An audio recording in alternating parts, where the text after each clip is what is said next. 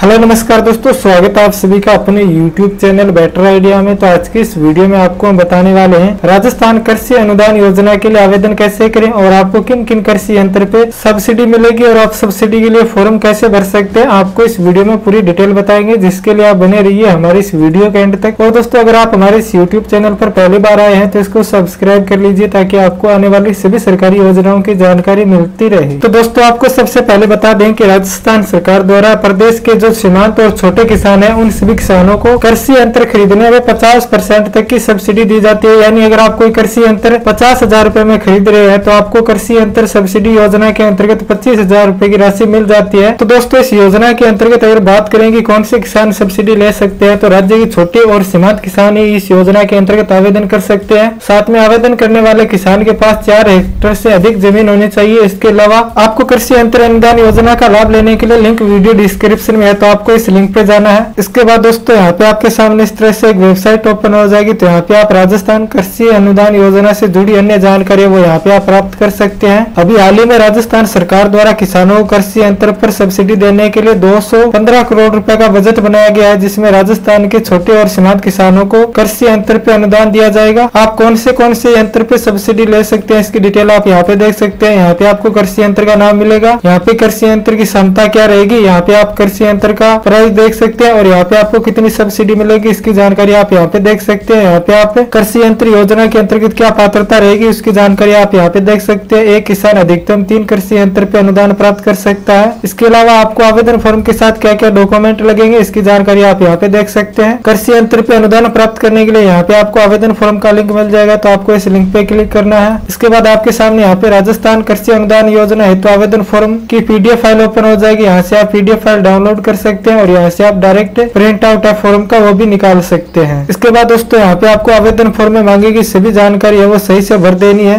आवेदन फॉर्म में मांगेगी सभी जानकारी को सही से भरने के बाद दोस्तों, आपको डॉक्यूमेंट की फोटोकॉपी आवेदन फॉर्म के साथ में अटैच कर लेनी है। इसके बाद आपको आवेदन फॉर्म अपने ज़िले के नजदीकी कृषि विभाग के कार्यालय में जमा करा देना है। इसके बाद आपको ये रसीद प्राप्त हो जाएगी, जिससे आप कृषि विभाग के कार्यालय में जाके कभी भी अपने आवेदन फॉर्म की जानकारी प्राप्त कर सकते हैं। और इस तरह से आप राजस्थान में किसी भी कृषि यंत्र पे अनुदान प्राप्त करने के लिए आवेदन कर पाएँगे। तो दोस्तों, आपको इस वीडियो में राजस्थान कृषि अनुदान योजना से जुड़ी जानकारी दी गई है। अगर आपको कुछ जानकारी समझ में नहीं आई है तो आप हमें कमेंट बॉक्स में कमेंट करके भी पूछ सकते हैं। और दोस्तों, आने वाले ऐसी सरकारी योजनाओं से जुड़े वीडियो देखने के लिए आप हमारे इस यूट्यूब चैनल को सब्सक्राइब कर लीजिए। मिलते हैं अगले नई वीडियो में नई अपडेट के साथ। तब तक के लिए बाय बाय जय हिंद।